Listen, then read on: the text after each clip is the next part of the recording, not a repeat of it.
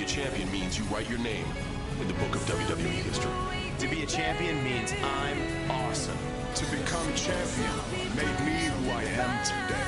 Being champion means that I am the best. Now, on a night where every championship will They be wanna hold you defended. back, tell moving. Whenever they say you can't take the feel I remember when they told me I wouldn't be famous. Now I do only reality simultaneous and work your own way.